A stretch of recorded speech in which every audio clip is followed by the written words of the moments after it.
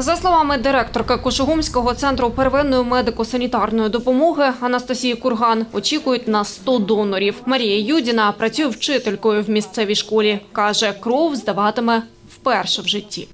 Коли наша школа дізналася, що в лікарні буде організовано день донора, практично півколективу вирішили, що це важлива справа. Нам не байдужа доля тих людей, яким потрібна кров. І тому сьогодні ось ми тут допомагаємо. Я вважаю, що цільова допомога це важливо, але навіть якби не було відомо, кому ця кров піде, все одно це врятує людське життя і будь-яке життя цінне, неважливо, це дитина, старша людина, здорова, хвора. Це не вперше, я ще в молодості здавала. Вперше це я коли ще навчалась в училищі, це теж так було. Нас зібрали, ми ще нічого не знали, теж було трошки страшновато, а потім якось пішло, пішло, пішло. Ну це я вважаю, що це добра справа. Це комусь може врятує життя.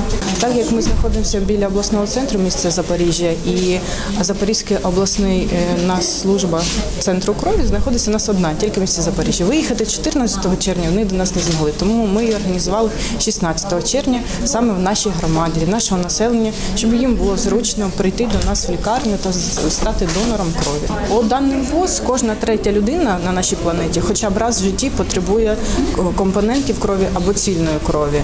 Е, в- основному це онкохворі, е, онкохворі діти, це стани після операції, після травм, де потрібна або цільна кров, або компоненти крові.